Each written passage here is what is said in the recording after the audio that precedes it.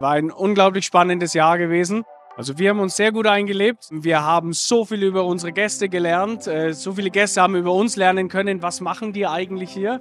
Ähm, wir haben mittlerweile zwischen 9.000 und 10.000 Gästen in der Woche, äh, was ja schon eine unglaubliche Zahl ist. Und darauf sind wir auch sehr, sehr stolz. Auch die, im vergangenen Jahr, die Weihnachtsfeiern, waren ein absoluter Erfolg für uns gewesen, äh, wo wir auch sehr, sehr gute Rezessionen von unseren Gästen erhalten haben.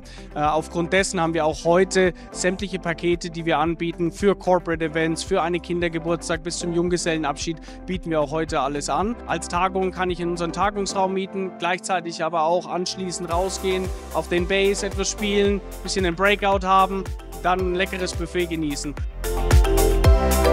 Bei uns war es wirklich Learning every day. Ja? Wir haben jeden Tag dazugelernt, ähm, viel von unseren Gästen gelernt und das meiste auch von unseren Mitarbeitern.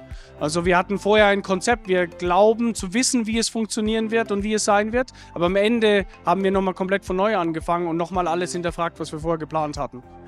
Oberhausen wird immer für uns das, das, Flagship sein, also immer das Zuhause sein. Hier haben wir begonnen, hier haben wir gestartet. Alles, was wir in Zukunft machen, werden wir alles aus Oberhausen aus managen und zuerst testen. Daher Oberhausen wird immer der wichtigste Standort für uns bleiben.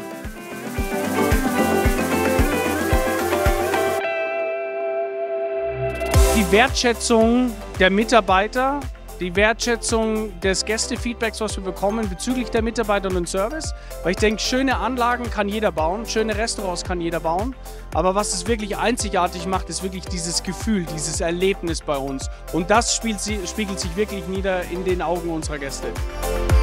Ja, vielen Dank äh, an alle Oberhausener. Bereits vor der Eröffnung war so eine Neugier gewesen. Was passiert hier eigentlich? Was wird hier gebaut? Äh, nach der Eröffnung habt ihr uns alle besucht, uns alle unterstützt.